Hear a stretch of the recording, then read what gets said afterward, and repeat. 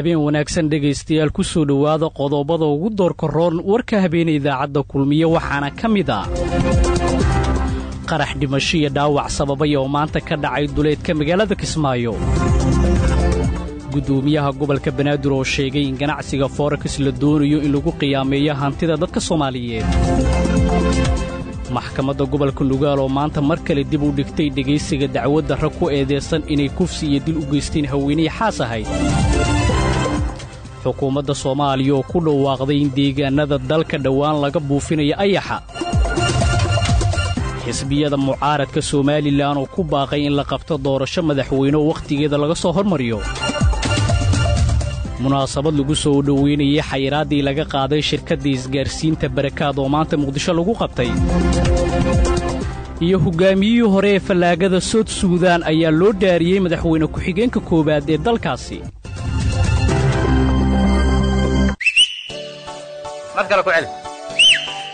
war bal ii warran. Maxaan kaaga warramaa? Xaaladda dalka dee ma run baad rabtaa mise been? run baan rabaa beenraad ma leh. Kulmiye ka dhegayso. Wayna kaa haddaba. Waa habeen sabti ah taariikhdana ay tahay labaatan iyo labada bisha labaad ee febraayo sannadka laba kun labaatan. Intaad maqasheen dhegaystayaal oo faahfaahsan waxaa caawi noola diyaara axmed siciid axmed. Aad iyo aad baad u mahadsan tahay yunis duraan cali dhegaystayaal ku soo dhowaada warkii oo fidsan qarax dhimasho iyo dhaawac sababay ayaa maanta wuxuu ka dhacay duleedka magaalada kismaayo ee gobolka jubbada hoose. Qaraxan dadka ku dhintay waxa ay ahaayeen dad shacaba cabdimajiid cabbaas aadan ayaa warkan ka soo diray magaalada kismaayo ilaa iyo inta la xaqiijiyey laba qof oo shacab ah ayaa waxaa imino nooca dhulka lagu aaso kula qaraxday deegaanka birta dheer oo qiyaastii lixdan kilomitir dhinaca galbeed ka xigta magaalada kismaayo. Dadkan oo ka soo ambabaxay degmada afmadow ee gobolka jubbada hoose ayaa ku soo socday magaalada kismaayo ee xarunta gobolka jubbada hoose. Gaariga miinada kula qaraxday deegaanka birta dheer ayaa noociisa ahaa gawaarida yar ee loo yaqaano asagsiida kuwaasi oo si weyna dadka ku nool deegaanada dhaca galbeedka kismaayo ay si weyna u isticmaalaan. Gudoomiyaha degmada afmadow yuusuf xasan xuseen oo la hadlay idaacadda kulmiye ayaa xaqiijiyey dhimashada laba qof oo gaariga saarnaa oo mid ka mid a uu ahaa darawalkii gaariga waday. Abaara toban saac ayuu baawur ka baxay degmada afmadow isaga oo ku socday magaalada kismaayo. Baawurka xalay wuxuu beriyey dhaxda harboole iyo biibi meelaha dhexdoodu beriyey saaka ayuu ka lahay saaka waa beriga ayuu maray birta dheer. Birta dheer markuu joogo oo taagan yahay labada wada meesha ku kala baxaan baaburka meesha qarax ayaa ku asiibay wuuna ku burburay labadii qof ee wadatay oo labaduba magaalada afmadow ka soo jeeda labadaba meesha ku dhinteen de waad garan kartaa baabuurkiina wuu burburay. Labadii qof ee wadatay dad kale ma saareen baabuurka hanti kalena ma saareen baaburka faaruq buu ahaa hadee baabuurkiina wuu burburay labadii qof ee wadatay darawalkii iyo kirisbaygiisi labadaba meesha ku dhinteen kooxda al-shabaab baa joogtay meeshu waa birta birta dheer birta dheer. Janaax cabdalle meesha la yidhaahdo weeyaan magaalada kismaayo waxay u jirtaa lixdan kilomitr magaalada afmadoona lixdan bay u jirtaa bartamihii labada magaalo weye meesha ku taallaa waxaana jooga nimankan shabaabkaa jooga. Muddooyinkii dambe dagaalamayaasha al-shabaab ayaa kordhiyey weerarada qaraxyada ah kuwaasi oo inta badan ay ka fuliyaan deegaanada dhaca galbeedka kismaayo gaar ahaan deegaanada u dhowdhow degmada afmadow ee gobolka jubbada hoose. Dhowaan ayay ahayd markii koleyo gaadiid ah oo ka ambabaxay magaalada kismaayo ay qarax kula egteen ee inta u dhexaysa degmada afmadow iyo deegaanka qooqaani kuwaasi oo ku socday magaalada dhoobley cabdilmajiid cabbaas aadan fantastic k n n kismaayo. Guddoomiyaha gobolka banaadir ahna duqa magaalada muqdisho ayaa isaga oo ka hadlayay maanta adeega ganacsiga ee forex loo yaqaano ee ka ganacsiga sarifka lacagaha qalaad ee online-ka ah. Waxa uu sheegay in la doonayo adeegaasi in lagu qiyaameeyo hantida dadka soomaaliyeed. Warbixinta warkan waxaa soo jeedinaya cali cilmi salaad. Gudoomiyaha gobolka banaadir cumar maxamuud maxamed finish ayaa waxa uu sheegay in adeega sarifka lacagaha qalaad ee la yidhaahdo forex uu yahay mid lagu qiyaanayo hantida dadka shacabka ah. Gudoomiyaha ayaa waxa uu sheegay in adeegan dadkii keenay la weydiinayo faa'iidada uu leeyahay laakiin isaga uu u arko mid lagu doonayo hantida dadka soomaaliyeed in lagu qiyaano sida uu hadalka u dhigay. Kaloo jira maalmahan dambe waxa la yidhahda forex. Forex qofti yaqaan inuu khayr leeyahay asaa loo sheegi doona laakiin aniga shaksiyan waxaan u arkay inuu dhaqaalaha soomaaliya dhibaato u yahay yacni dad meelo kale ka soo abaabala sharqoolna inay leeyihiin aniga aragtidayda waa sidaas. Dowladda soomaaliyana runtii waa ka fadhiisatay marka laga hadlaayo lacag bankiga dhexaa dowladdaba wakiila bankiga dhexena arrintaas wuu joojiyey. Annaga ka maamul gobolka banaadir ahaan waxaan joojinay forekiska inaan diiwaan gelino. Kuwa hore loo diiwaan geliyay hadday jiraanna ayada yacni su'aalaheeda iyo axwaalaadkeeda xaalad dib u eegis aan ku samaynayn sidaa darteed forekiska aniga inta aan ka fahamsana waxa waaye waa khiyaano aan dadka fahmi karin oo la mid ah yacni marka malayga badda laga dabanaayo bacdiro maqaalin layda ayaa hilib loo geliyaa markaasaa badda lagu dhex tuuraa. Malayga markaa hilibkii yaraay oo maagaa maqaalintii loo laqay waa lagu soo jiidaa marka. Marka wax yaraa mataqaana dadkii la siinayaa xoogaa marka la siiyo oo loo soo cesho meeshaan faa'iido badan. Meeqaa intaana bankisalaan amal meeqaa wuu soo qaadanaa meesha shubaa.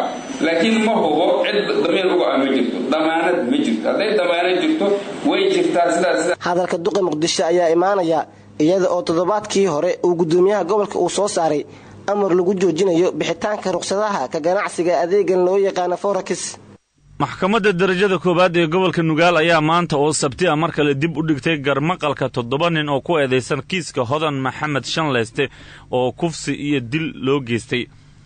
Kow iyo tobankii bishii abriil ee sannadkii laba kun sagaaliyo toban ayaa hodan shanleyste waxaa dil iyo kufsi loogu geystay magaalada garowe ee caasimadda puntland. Xeeralyaha guud ee puntland maxamuud xasan oo cusmaan ayaa maanta maxkamadda hor akhriyay codsi ka yimid qoyska marxuumad hodan shanleyste oo dalbaday in dhegaysiga kiiska dib loogu dhigo muddo afar maalmood ah. Qoyska ayaa codsigooda ku saleeyey inuu maqan yahay aabbaha dhalay marxuumad hodan axmed maxamed shanleyste sidaas darteedna kiiska dib loogu dhigo inta uu ka imaanayo shanleyste si uu goobjoog u noqdo maxkamadda. Gudoomiyaha maxkamadda darajada koowaad ee gobolka nugaal cabdinuur jaamac xuseen ayaa shaaciyey in mar kale dacwadda la dhegaysan doono maalinta arbacada ee ku beegan lix iyo labaatanka bisha febraayo ee isla sanadkan weliba isla bishan.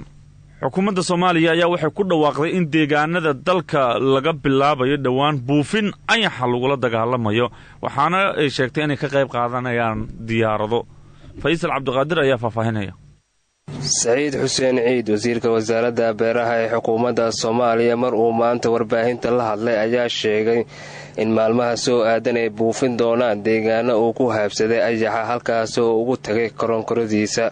Buufintan ayaa loo adeegsan doonaa qalab casri ah iyo diyaarado kuwaas oo si dhib yar ku dhammayn doonaan howlaha dabargoynta ayaxa intaa waxa uu ku daray wasiir ciid. Haddii aan buufinta ayaxa ee diyaaradaha iyo qalabka casriga ah loo adeegsanayo aan la dedejin ay suurtagal noqon doonto in mar kale uu waxyeelo geysto ayaxa kol haddii uu helo roob.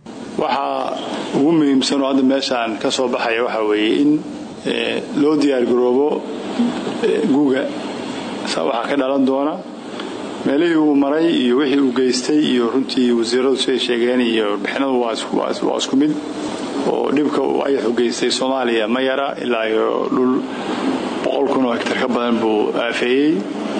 Waxaa indhahayaanu ku soo arkay geedihii uu ku degay oo geedkii cagaarka ahaa oo qalalay olmost waxaan rajaynaynaa haddii lahayd in dhowaan qalab qalabkii hore ka taga roon. Hore qalab gacmeed buu iska ahaa manual ah. Laakiin qalabkii hore qalab ka fiican oo baabuur lagu rakabayo iyo kuwii hore dhabarka oo iyaguna otomaatig ah inay maalmaha soo socda waddanka soo gaari doonaan. Waxaa kaloo iyaduna meel fiican maraysa in diyaaradihii aan helno oo cirka laga rusheeyo laga buufiyo. Meelihii markaas uu ayaxu joogo ama meelihii suurtagal oo duruufta amniga iyo duruufaha kale ay saamaxayaan wasaaradda aviationka soomaaliya iyo wasaaradda beero waxay isla sameeyaan hadda maabinkii meelaha ay la tegayo oo ogolaanshihii diyaaradahaas imaan doona. Deegaano iyo degmooyin badan ayuu dhibaato ka geystay ayaxa waxuuna baabi'iyey dhulbeereed gaaraya ilaa iyo siddeetan hegtar kuwa oo ku yaalla gobollada dalka. Xisbiyada mucaaradka ee somalilan ayaa maanta waxay ku baaqeen in la qabto doorasho madaxweyne oo wakhtigeeda laga soo hormariyey arrintan ayay u sabeeyeen kadib markii madaxweyne muuse biixi uu ku dhawaaqay inuu furayo tartanka axsaabta. Wariyahayaga magaalada hargeysa eliyas cabdi cali ayaa warkan soo diray xisbiyada mucaaridka somalilan ayaa maanta magaalada hargeysa shir ay ku yeesheen. Waxa ay madaxweynaha somalilan ugu baaqeen in doorashada madaxtooyada somalilan uu hore u soo dhigo maadaama uu madaxweynuhu sheegay in xisbiyada urura laga dhigi doono islamarkaana ururadii siyaasadda somalilan la furi doono. Gudoomiyaha xisbiga mucaaridka ee wadani cabdiraxmaan maxamed cabdilaahi ciro oo warbaahinta u akhriyey go'aanada ka soo baxay shirkaasi ay wada yeesheen. Xisbiyada mucaaridka ee wadani iyo ucud waxa uu sheegay in madaxweyne muuse biixi cabdi looga baahan yahay in ururada uu furo islamarkaana madaxweynaha doorashadiisa sanadkan labada kun iyo labaatanka la qabto. Shir ay maanta oo taariikhdu tahay labaiyo labaatanka bisha labaad laba kun iyo labaatan isugu yimaadeen labada xisbi mucaarid ee ucid iyo waddani hoggaankoodu waxay ku lafagureen kagana arrinsadeen mawqifka iyo go'aanka labada xisbi ee xaaladda guud ee dalku maanta ku jiro wuxuuna u dhigan yahay sidan. Walaalayaal maanta waxaa muuqata in muuse biixi uu u xuubsiibtay keligii taliye. Cagtana saaray waddadii hore loo eeday ee kayrkii iyo jannadii dhagarta ku caanka ahaa ay mareen. Waxaa muuqata inuu burburiyey dimuqraadiyaddii curdinka ahayd ee la korinayey isla markaana tacab badani shacbigan ka galay. Waxaa muuqata inuu mijixaabiyey qarannimadii iyo midnimadii ummadda somalilan oo maanta ku jirta jihawareer siyaasadeed. Waxaa muuqata weli inuu xintan iyo xifaaltan uu ka dhigay maamulkii dalka loo igmaday isla markaana uu si badheedha iyo kutumashaha u jebiyey dastuurkii iyo xeerarkii dalkani lahaa labada xisbi qaran waxay xalka iyo badbaadinta somalilan ee marxaladdan maanta aan ku jirro u arkaan in doorasho madaxtooyo oo xilligeedii laga soo hormariyo ka qabsoonto dalka sannadkan gudihiisa maadaama uu muuse ku fashilmay hogaaminta dalka. Xisbiyada siyaasadda somalilan ayaa bilihii u dambeeyey waxa muran u dhexeeyey iyadii iyo xukuumadda xisbiga kulmiye kaasi oo ku aadanaa xubnaha komishanka doorashooyinka somalilan. Salaasadii toddobaadkii horena waxa uu madaxweynaha somalilan sheegay in ururada siyaasadda somalilan uu furi doono si looga baaqsado muranka siyaasadda islamarkaana xalka keliya ee doorashooyinka somalilan lagu qaban karo ay tahay in doorashadaasi ururada siyaasadda la furo. Ururada siyaasadda marka la furo ayaa saddexda xisbi qaran ee somalilan hadda jira saaxadda ka baxayaan iyagooo dib loo soo tartami doono sidii loogu guulaysan lahaa saddexda xisbi ee u tartami doona doorashada madaxtooyada deegaanka iyo wakiilada somalilan ilyaas cabdicali raadiyo kulmiya hargeysa. Iyadoo dhowaan dowladda maraykanka ay xayiraaddii ka qaaday shirkadii barakaad oo muddo sannado ka hor ay xayiraad ku soo rogtay ayaa haddaba munaasabad lagu soo dhoweynaya arrintaasi waxaa maanta lagu qabtay magaalada muqdisho.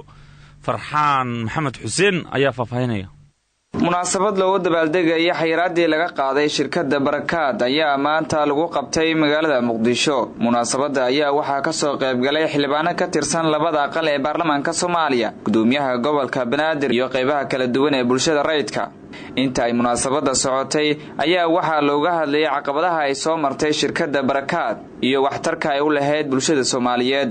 Gudoomiyaha gobolka banaadir ahna duqa muqdisho cumar maxamuud maxamed cumar filish oo ka qayb galay munaasabadda ayaa waxa uu sheegay in wax lagu farxa ay tahay in xayiraadda laga qaado shirkadda barakaad. Runtii taariikh iyo wax badan ayaa laga sheekeeyey oo anigu dhammaantood aan soo joogay markii ay bilaabanaysay shirkadda barakaad iyo markii xisaarka uu dhacay cuqubaadkaas iyo xabaashaas oo dhan. Waa jooga ilaahay subxaana wa tacaala ayaa mahad leh maantay wixaas oo dhan waa la qaaday. Waxaana loo gudbay xornimo ayaa loo gudbay. Runtii intaan anigu ka xasuusto barakaad ayaa wax badan ugu filan. Markuu barakaadka furaayay wuxuu ku furay dihni ama garasho inuu ganacsi sameeyo dhinaca kale gudoomiyaha shirkadda barakaad sheekh axmed cali jimcaale oo isna goobta ka hadlay ayaa wax uu ka sheekeeyey taariikhda ay leedahay shirkadda barakaad. Soomaaliya laga sameeyo ay ahayd waxay muddada u ka xusiisto waxay ahayd maxaa la adraa bishcabiha shirkadda markaas samaynay wadankii dhan rabnaa inaan ka shaqayno wadankana waa kala xirxiray meel kasta qabaa'il iyo shucuuba kala degan. Xataa xamarka dhexdiisa kala xirxiran marka maayada socowaaye macnaha maka waxaa yaqaana dadka degan aadariijadooda yaqaana shaqadii waxaan u dhiibnay magaalo kastaba ama xaafad kastaba ama gobol kastaba dadkii ka dhashay meeshaas oo yaqaana dadkii ayagaan u dhiibnay ayagii aan sheer iska siinay oo ka siinay asum inay shirkadu ku darsadaan ayadana wax weeyaan runtii ilaahi subxana watacaala waa lagu guuleeyey shirkadda barakaad ayaa labada kun iyo labadii waxaa xayiraad saaray dowladda maraykanka islamarkaana ku eedeysay inay maalgeliso kooxaha argixisada iyadoona markii dambe dowladda maraykanka ay xayiraad ka qaaday shirkadaasi sidoo kale in shirkadda barakaad xayiraadda laga qaado ayaa waxaa ka qayb qaatay dowladihii soo maray dalka oo ay ku jirto dowladda haatan talada haysa. Sida uu sheegay guddoomiyaha shirkadaasi halka warkaasi aad kala socotaan waa idaacadda kulmiye ee magaalada muqdisho hogaamiyihii hore ee fallaagada soud sudan ayaa maanta loo dhaariyey jagada madaxweyne ku-xigeenka koowaad ee dalka sudan soud sudan. Munaasabadda rayaad mashaar lagu dhaarinayay ayaa waxay ka dhacday aqalka madaxtooyada ee dalka soud sudan ee ku yaalla magaalada jubba munaasabadda ninkan xilka loogu dhaariyey waxaa goobjoog ahaa madaxweyne salfakiir iyo madaxda golaha madaxa bannaan ee soud sudan cabdilfataax al burhaan saddex madaxweyne ku-xigeen oo kale oo uu yeelanayo dalka soud sudan ayaa sidoo kale la dhaariyey. Madaxweyne ku-xigeenka saddexaad ee la dhaariyey waxay ahayd xaaskii madaxweynihii hore ee dalkaasi ninka la yidhaahdo john jahin rays gran madaxweyne ku-xigeenka kalena waxa uu ka imaanayaa isbahaysiga xulafada mucaaradka ee isbahaystay balse weli xulafadu iskuma waafaqin cidda ay xilkaasi u dhiiban lahaayeen madaxweyne ku-xigeenka soud sudan loo dhaariyey ee la yidhaahdo rayaaq mashaar ayaa in muddo ah waxa uu dagaal kula jiray madaxweyne salfakiir isaga oo diidanaa in ninkaasi uu talada hayo. Warka habeen aad kala socoteen kulmiyena waa naga intaasee nabadgelyo socoteen kulmiyena waa naga intaasee nabadgelyo socoteen kulmiyena waa naga intaasee